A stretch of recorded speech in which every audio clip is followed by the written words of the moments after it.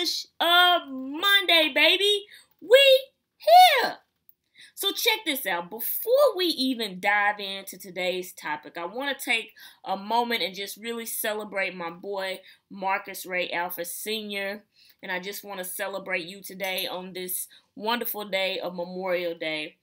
Um, Marcus is no longer here, but he was my boy, and he um, he put his life on the line to serve our country and to ensure that we have the freedoms that we have today. And so I just want to say to you today, uh, to celebrate you and say thank you, Marcus. I love you, man. I know you're not here, but I got mad love for you, and I know you up. I know you up there, probably making the people laugh with your jokes and stuff. So much love.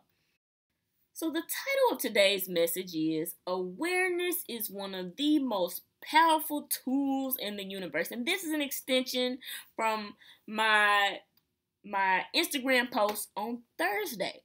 Because this was this was the big takeaway for me this week. Learning the power of awareness. So, this was inspired from my therapy session. So I go into my ther- my therapist's office and I say, "Listen, these are the things that I need to work on. This is this is what I need support in." So I say, "I need to get crystal clear on what I want." And then secondly, I need to be able to stand in it. Like I need to be able to stand in the truth of whatever that is.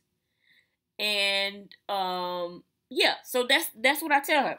And so, you know, she, you know, she always has these questions. You know, she she has these questions, and that's what I love about her. She has these pointed questions, but they always guide me to just discovering this on my own. Like she never gives me any answers, right? And so, so I come to the realization: you know what you want. You're unwilling to stand in the truth of it. Unwilling to. And so then there goes another layer. Oh, the other piece of that is uncomfortable emotions. It's it's very challenging for me to just not be happy go lucky, right? Like I love the fuzzy wuzzies. But the truth of the matter is is that also other emotions they're just as valid, right? And so like one of the one of the emotions was anger.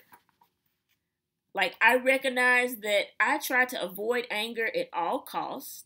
And because of the avoidance of uncomfortable emotions, hence conflict and things like that, emotionally I shut down. Shut down because I'm not going to deal with that feeling. I'm just going to put that in the corner. We're not dealing with that. I don't want to deal with my feelings.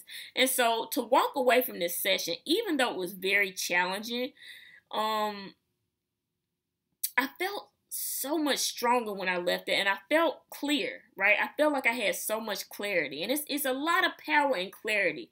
And so when I think about awareness, it's almost to me like vision, right? So if like right now I need glasses. I do.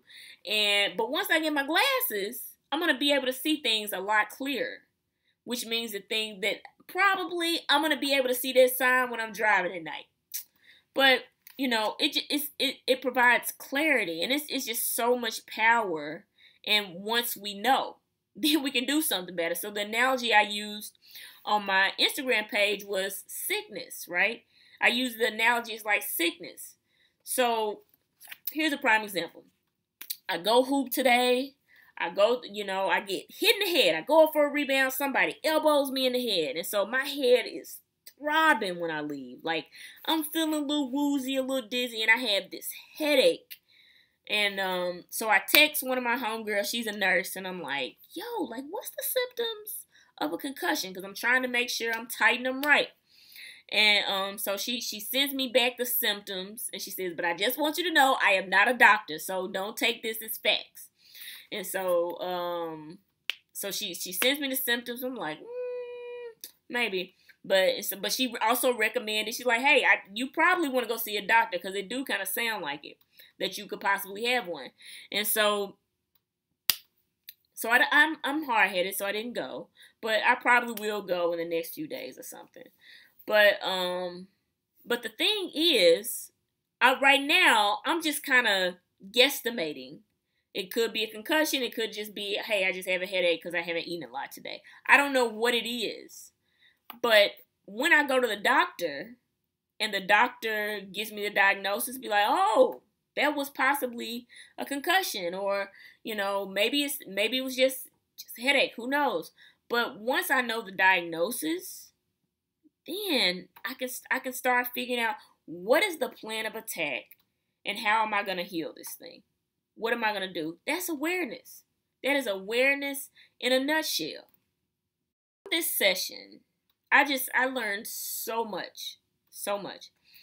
And so the first thing was just getting really honest with yourself without judgment and with compassion. So for me to name and own, take responsibility and own that one of the habits or one of the things that I do is just avoid my feelings that are uncomfortable. That was challenging, you know, and to say that sometimes I'm I'm challenged at standing in my truth in my close relationships because I'm afraid of rejection.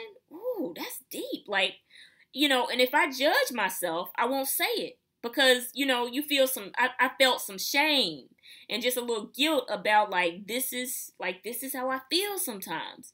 But just to, just with compassion, just say, oh, this is, I'm just going to name it and call a thing a thing. It's not bad. It's not good. It's just what it is. Another key takeaway, and I think these two kind of go together hope and healing. And so I say hope because, you know, I felt like for a while I was kind of shooting in the dark. I didn't know what's going on. You know, you just engaging in certain pat- patterns. I don't know why I'm doing what I'm doing. I'm just going to keep on doing it. Ah, whatever.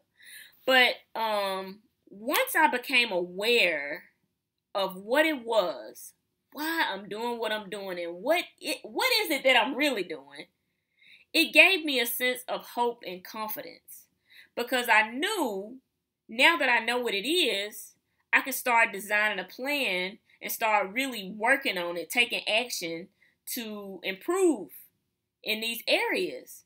And um I just I, I it was like I know it's gonna get better. That's that's really what it came down to. I was like, I know this is gonna get better now because I know what it is, and I can start working on it. So the, I'm taking steps to correct it.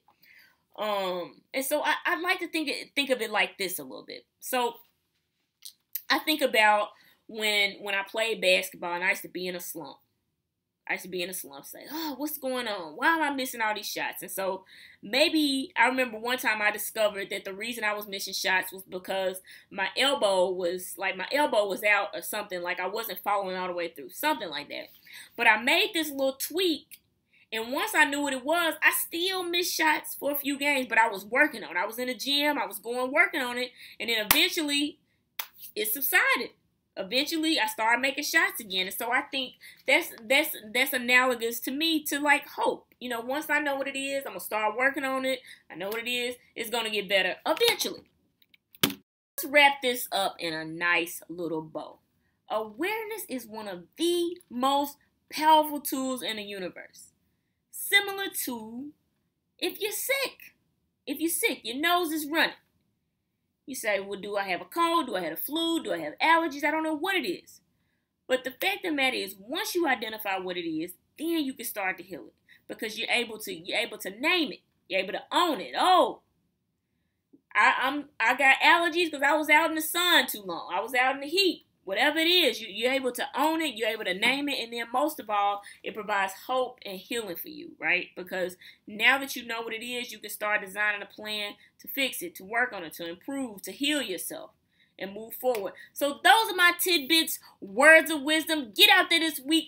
Do your mental push ups, baby. Much love, light. But it's the dorky jock signing off, baby. And I'm out.